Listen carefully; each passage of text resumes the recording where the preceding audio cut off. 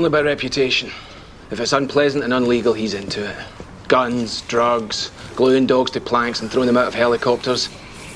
What does he look like?